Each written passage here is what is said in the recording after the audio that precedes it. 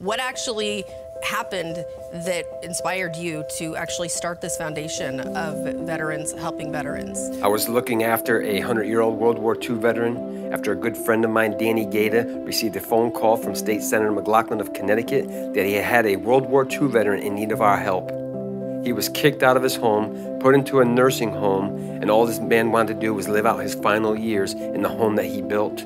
Dan formed a group of patriots and do gooders who believe in our veterans. So we went out and fixed up his home. We got him free of the nursing home, and I became his court appointed conservator after many months of going to court with Lou and Dan. During one of my visits with Lou, and I visited Lou almost every single week, bringing him food and having a conversation, I had the vision of building veteran homes for veterans so this would not happen to any more veterans like Lou. I also had this vision of teaching veterans how to rehab and build veteran houses as I am a real estate investor of 20 years.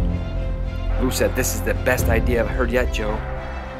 So just recently, my wife Kathy and I had moved with our dogs Thor and Emma to Virginia to begin our quest of building veteran homes in Virginia first, then to be in 33 states by 2026 with at least one veteran home to serve the underserved. Who are we as an organization?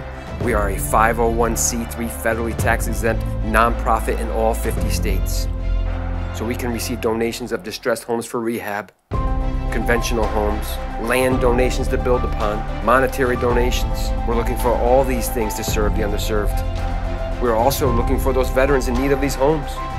We're looking for volunteers, advocates, those who believe in supporting our veterans. Our nonprofit has no paid board or staff, so your donations go directly to the veterans. These amazing men and women who gave so much of their lives for us.